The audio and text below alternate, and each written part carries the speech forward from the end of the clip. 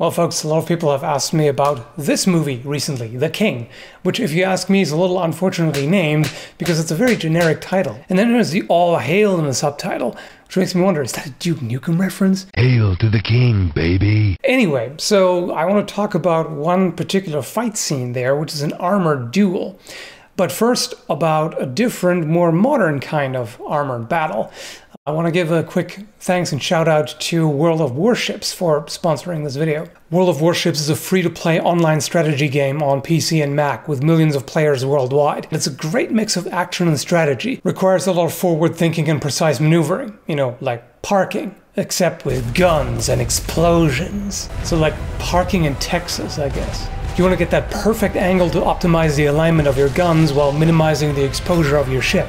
It's very rewarding when you get it right. The in-game models are actually based off 3D scans of real ships and some of the most iconic naval vessels in history for that matter. It takes the developers six months to make a ship, now, that kind of dedication to realism and detail I can definitely appreciate. They also constantly add new missions, events, and updates. One of them is coming soon Submarines. This will introduce new mechanics, prioritizing stealth over health. As a new player, you can register with the code BattleStations2020 to get a bonus starter pack, which includes 250 doubloons, 1 million credits, the USS Charleston, 3 days premium time, and one port slot, among others. It's available for free on Xbox and PS4 as well, so click the link in the description down below to try out World of Warships. Alright, so let's take a look at the King.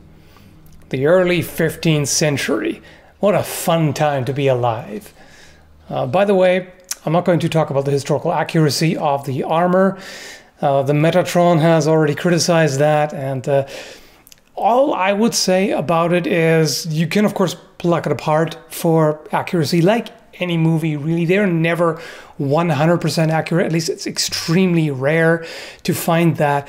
And uh, there's always some liberty taken with the historical material, both as far as events are concerned and personalities and etc., etc., really.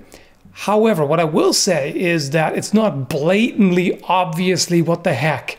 You know, I've seen a lot of really terrible stuff where they misplace really crude approximations of armor in completely different time periods, even though it's not 100% accurate. When I look at scenes like this, for example, there's nothing that really jumps out at me that makes me go, what the fluff is that supposed to be? You know, unlike, for example, Vikings, where they look like a bunch of LARPers who just raided a Comic Con. This actually, you can tell that it's real steel armor, it's not just painted plastic, and looks pretty decent overall. So, this sword looks really neat. In fact, when I first look at this, I was wondering, did they use an Albion Regent? Because it looks quite a lot like that. But the blade is very different. Uh, the hilt that the Regent is inspired by is from the mid 15th century, so a bit later than the time when the, this movie takes place, but close enough. And it's nice to see a properly shaped sword. Well, with one exception, really, the blade shapes are kind of wrong here, particularly for this application and as for the time period. If you look at they're relatively wide, they don't really taper noticeably, while the Oakeshott Type 18 and other swords from that time period have a noticeable taper in the profile.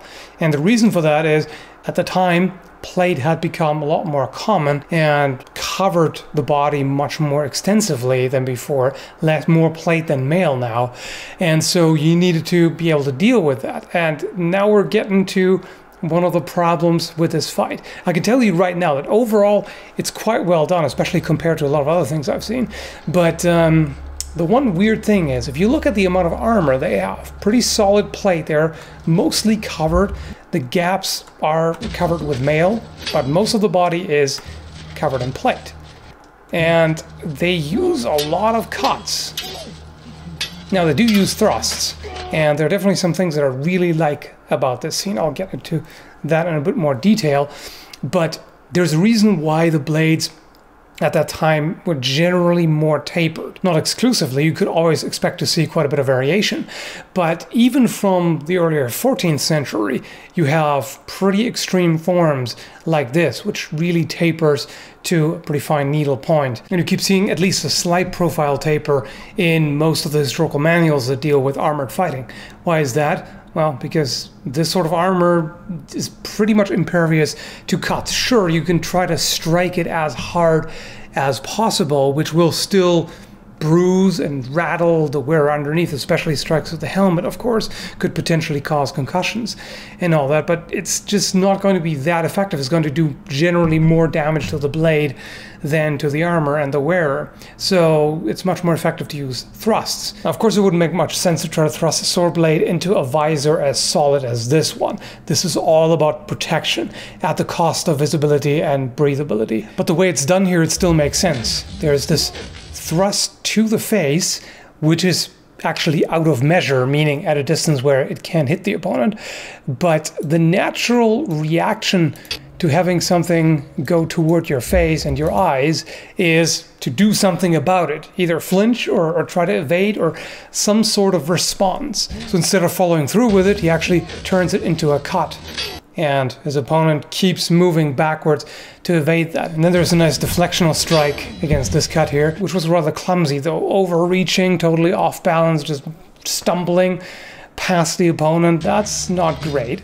Then we've got a bunch of cuts and thrusts that wouldn't really do anything against armor, but this part here I really like. So this cut is parried with half swording, supporting the blade with the offhand for a stronger block and mainly to have more control over the point. And then that leads to grappling, which again is very common in the historical manuals. There's a takedown. And from here, this, I'm, i suppose, was done just to extend the fight a little longer. Because essentially, at that point, it might as well be over.